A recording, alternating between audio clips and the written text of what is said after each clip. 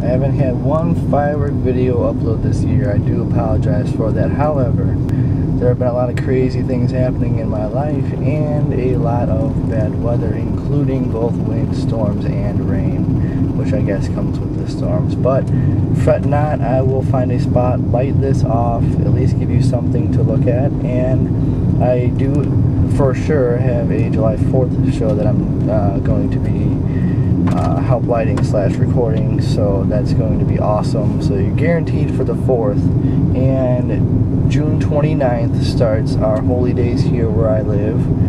That's when all the big stuff can be start uh, can start lighting off the big stuff and not worry too much about it.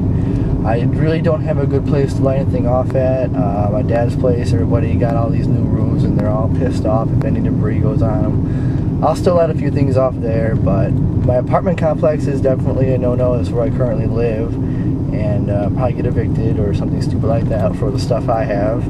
Um, got a few other places, including my sister's uh, husband and uh, my buddy from work might have a place around his house that's actually uh, good for fireworks. So we'll see about that definitely will keep you guys in the loop. I do apologize for lack of videos, but hopefully we'll get to see this bad boy go off. Uh, like to say what it is, but wouldn't want to give it away.